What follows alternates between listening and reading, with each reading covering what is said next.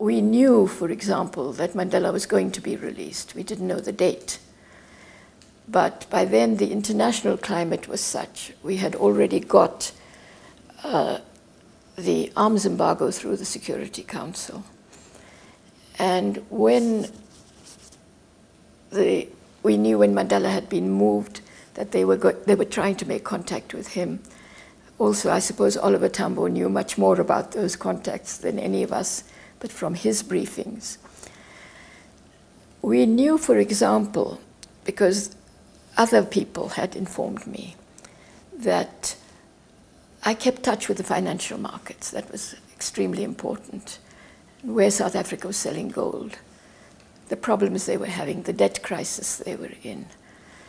And the pressure was going to come in the early part of February 1990. So I, through internal links, again with journalists, and the fact that South Africa was having a big international investment conference in South Africa, we reported back to Lusaka. Chances are that the beginning of February, they will unban because they had told the international investors, no, no, please come, please come. Something is going to happen. It could only be the release of Mandela that would have changed any international climate. And we were believed.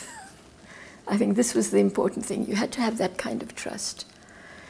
So I had arranged for somebody in South Africa to fax me uh, a statement that de Klerk was going to speak at.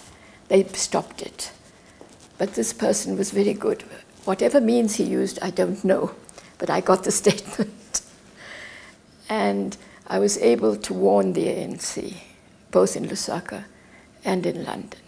So early that morning, we had a meeting in the office of the chief representative.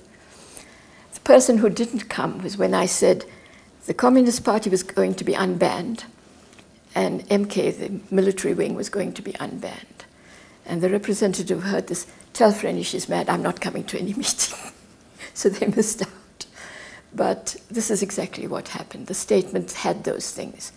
The date of the release of Mandela, I had suggested, and my research people, because I had a whole research network, had to be before the investment conference if it was going to have any meaning.